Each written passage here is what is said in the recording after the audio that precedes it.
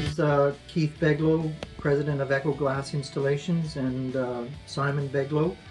Uh, Simon and myself have traveled around the world looking for a supplier that can meet our needs with the quality of a curved piece of glass and a, a company that will represent us in Canada. And we have uh, made an agreement with Control Glass that meets all our needs.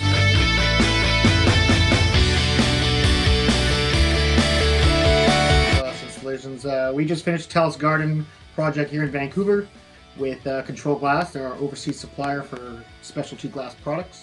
We have full confidence in everything that they're doing. Everything that we've been building, working relationship up to now, has been great.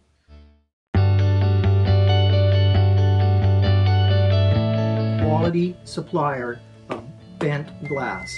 And we found- and we have found a company in Spain